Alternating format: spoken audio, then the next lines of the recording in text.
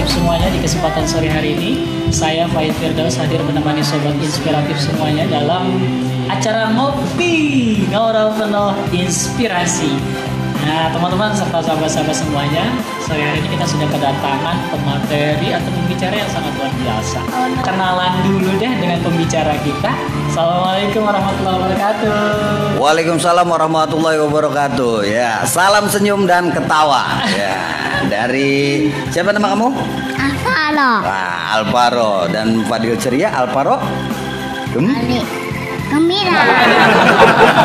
Oke teman-teman semua sahabat-sahabat semuanya di kesempatan sore hari ini kita ngomongin tentang jurus jitu jadi kreativitas komedi. Iya. Jadi, uh, jurus jitu jadi kreatif komedi. Betul. Bareng dengan Aliando Andika Alvaro dan Fadil Ceria. Beliau adalah salah satu biro jasa awak. Iya, jadi bisa memperpanjang napas, memperpanjang ketawa, tapi nggak bisa memperpanjang usia. Tapi kalau usia memang udah tak ada takarannya cuma segitu doang umurnya. Saya kedatangan seorang Fadil Ceria yang konon katanya ini salah satu juga wah, yang hadir di Kota Serang. Alhamdulillah dengan sedikit ilmu yang kita pahami soal komedi. Nah, sekarang juga kita sudah buat buat konten YouTube nih, konten YouTube barengan Alvaro nih. Ah. Nah, namanya tebak-tabokan, kocak, Kocak lu. tebak-tabokan, kocak lur coba. Tebak-tabokan, Tebak-tebakan kocak lu. tebak-tabokan kocak lur ya. Anaknya koplak lur. Berharap sih di kita buat di konten YouTube ini minimal Paro bisa menurunkan bakat meneruskan angsuran orang tuanya.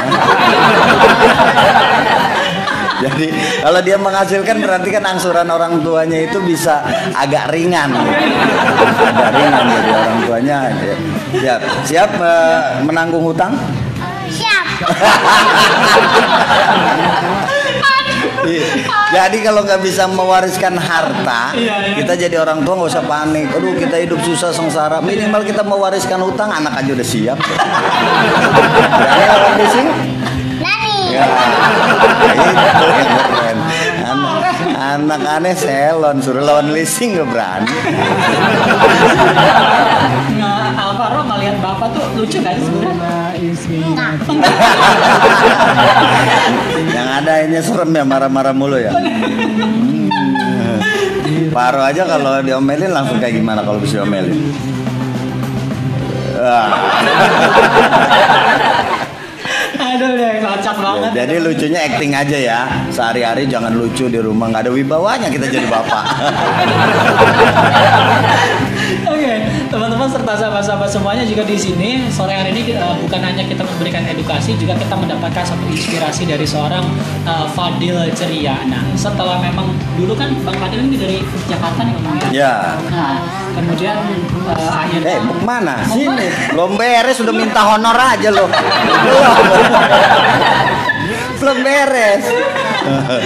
Alhamdulillah eh, Ane punya ilmu yang banyak belajar tuh guru besar Ane pribadi itu kan eh, adalah Bagito Group ya di mana Pak Dedi Miing Gumelar adalah guru besar saya, guru dalam hal melawak, menulis skrip dan juga memanage sebuah eh, komunitas lawak seperti apa. Dialah guru besar saya yang mengajarkan gitu.